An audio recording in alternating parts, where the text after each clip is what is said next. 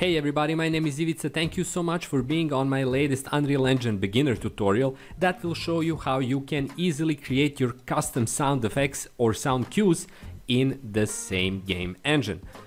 You already know having the ability to create unique and custom sound effects is really useful in any game development process because it allows you to A, either create something brand new or B, take the existing sounds and mix them up in a way that provide you with alternatives, randomatic controls, and many other possibilities that are essential for sound design in a video game. Of course, you don't want to be repetitive and you don't want to sound like any other game or your game over and over again, which is why it's really useful to have the ability to mix and change and create custom and unique things in the domain of sound design.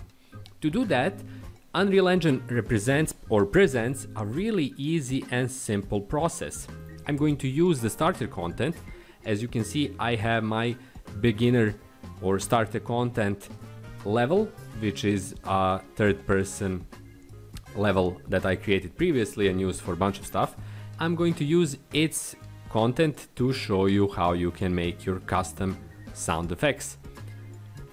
In your content browser, you should go for audio and you have your sounds and sound cues already present.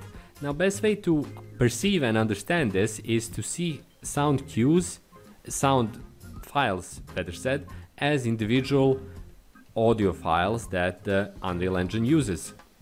Sound cues on the other hand are basically blueprints that you can employ to edit the same sounds. So you don't play the sounds directly, you play them through a blueprint. Now I'm going to use one of the sounds, which is the sound wave file, to create a new cue from it. I'm going to right click on it and as you can see up here there is an option of create cue. I'm going to call it new sound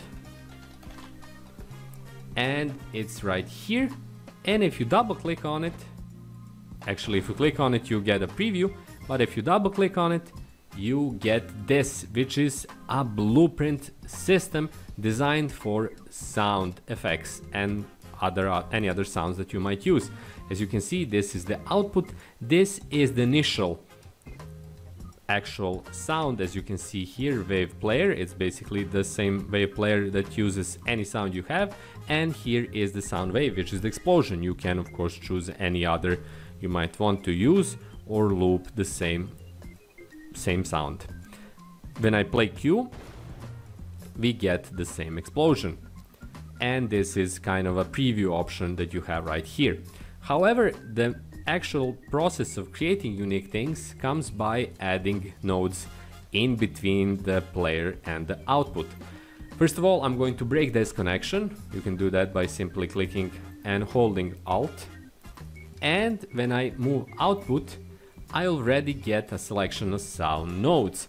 As you can see, there is a bunch of stuff that you can use here and all of them actually produce something unique. So for starts, let's simply use a system where we add two sounds, not one. So I'm going to add explosion, another explosion here and add a mixer that combines them into the output. So I'm going to add a node, which is wave player. It's the exact same node as I, the one I already have.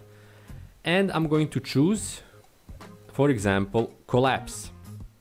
So we have, let's see how it sounds. The sound of collapse. It's a prolonged sound, so it's different than the explosion 2. I'm going to break that connection again and I'm going to add a node that combines these two into a single output. That is the mixer. Oh, not mature, sorry. It's mixer. Here it is. And I'm going to combine these two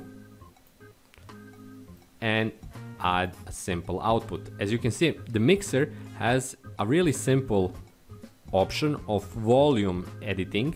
Right now, both are at volume 1 and they're going to play at the same kind of volume setting. Let's try it out.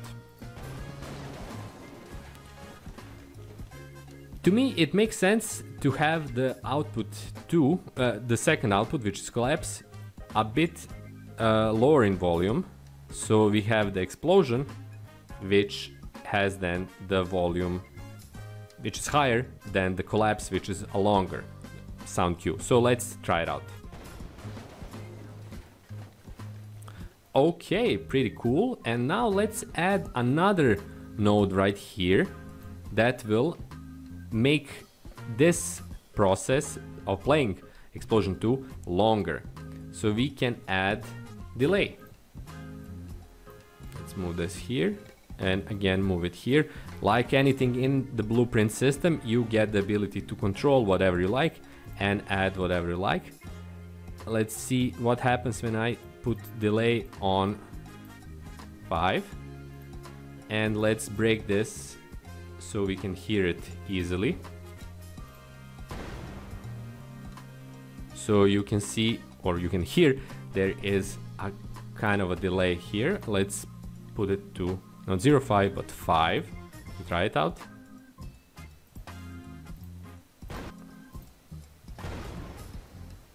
So it's quite prolonged. Now if I add it here and again we can put this to for example 0.5 As you can see, we get a completely different sound than the initial sound we entered here, which is explosion 2. We can, in the same manner, add additional sounds, add additional notes, even after the mixer output. We can add nodes that further change things, like for example an oscillator. We'll edit a bunch of these to let's say 0.5 I have no clue what this will do actually. Uh, and we're going to hear how it sounds and let's say modulate volume and modulate pitch. And yeah a lot of stuff is happening. It's not really audible immediately but it works in the same manner.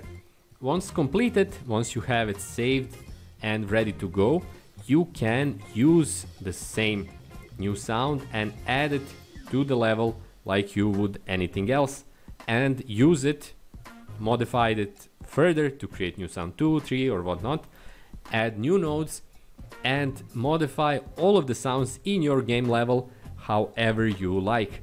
That's a really simple process in Unreal Engine and really effective process, especially when it comes to adding nodes which are already here in the selection, you don't have to look for them Instead, you can simply try it out and see what do they offer to you, including things like adding random elements where you can play, for example, several sounds on the same cue, but they are chosen randomly. You can even modify the amount of variability uh, or how often does a particular sound play in comparison to other sounds which is pretty cool for example for footsteps or for gunshots or for background noise which is kind of randomatic without actually having the ability or needing to you have the ability but you don't need to do this by hand and set up individual sounds so they do sound randomly instead a single sound cue single custom sound effect can provide that ability immediately so this is all for this Unreal Engine beginner tutorial. Hopefully you found it useful. Thank you so much for checking it out. Thank you so much for being until the very end on this video.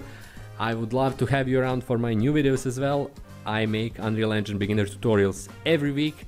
So please consider subscribing. There is also a bunch of ways you can support me in the description below, but you don't have to. A like and a subscribe would be more than enough.